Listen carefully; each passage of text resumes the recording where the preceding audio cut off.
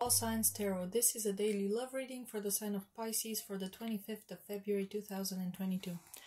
Holy Spirit, show me the Pisces who need to hear these messages today. You might have Sagittarius in your chart. You could be back and forth about a decision. You could be really stuck in your head about uh, how to move forward in a situation. Holy Spirit, let's see who are you dealing with. Uh oh.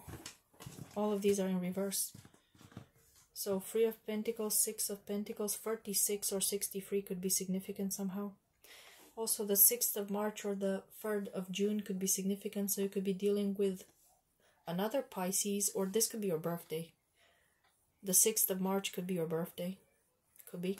You could be 36, I'm not sure. Or the person you're dealing with. Because I was, oh, this is supposed to describe the person you're dealing with, right?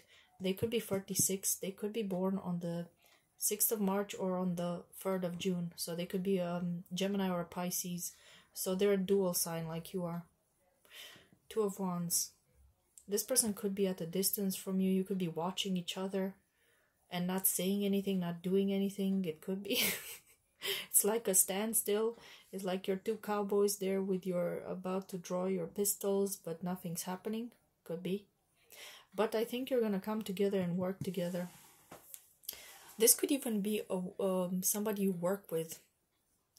So you might be holding back your feelings for each other because you work together. That's another possibility here. But it looks good. It looks like you're to be together maybe. If, if you're at a distance, you might reunite. This could be a friend, like this could be a workmate who you also go to drinks with yeah, this could be a work situation, or this could be a friend, this could be somebody you worked with in the past, this could be somebody who's at a distance. There's some kind of blockage here for you coming together. I'm not sure what it is.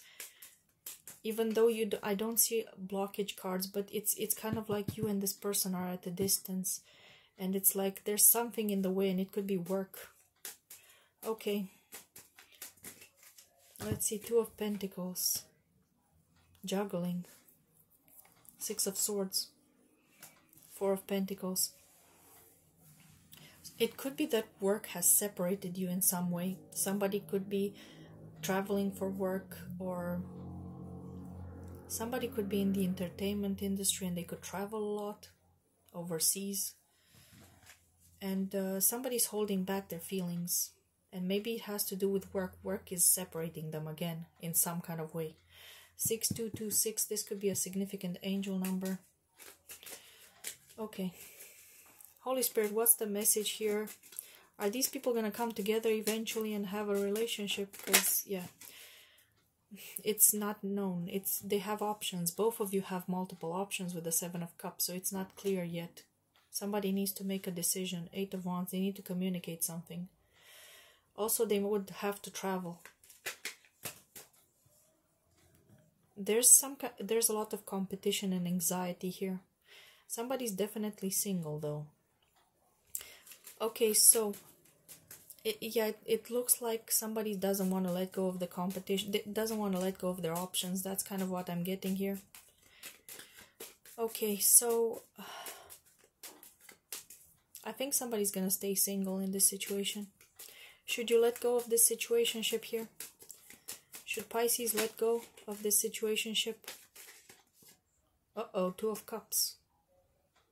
Two, two, two. Maybe you're born on the 22nd of February. That's in Pisces season, so I don't know. That could be a significant date too. You see, but it's got Two of Cups with Eight of Swords. So this is, I think this is a karmic soulmate here. You might be with this person, but uh, you might not like it when you're if you're actually going to be with this person you're going to be feel like you're trapped. So is it better for pisces to just let this go?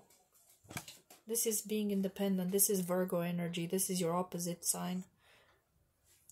I think it's better for you to focus on ace of cups reversed. You're not going to be together with this person. But this could also be a no to my question because i asked if you should let this person go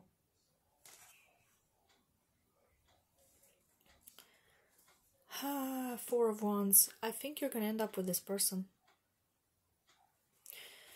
Okay, so let's see if you're actually going to be with this person. How will the relationship be like? Holy Spirit, if Pisces ends up with this person, how will the relationship be like?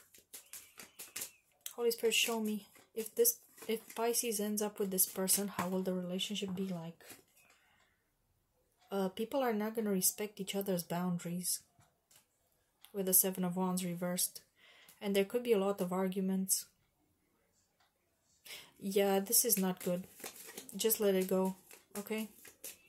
You need to focus. Maybe you don't have enough self love. You need to focus on healing yourself and having more self love and knowing what you deserve, right? You don't deserve to be treated this way. Once you know what you deserve, you're not going to allow it, right? Even if people like this are going to come towards you, you're going to sense them, you're going to know that they're not good for you. You're actually going to notice the red flags, and when you do, you're going to say no. I've had enough of people misbehaving, and you're just going to say no. Because the thing is, Pisces, they can be quite codependent sometimes, and they could overlook a lot of red flags in relationships. They might forgive too many things. Nine of Cups, Eight of Cups. So yeah, if you know what's good for you, you're gonna walk away. That's what I'm getting here with the Nine of Cups and the Eight of Cups. The year 1998 could also be significant.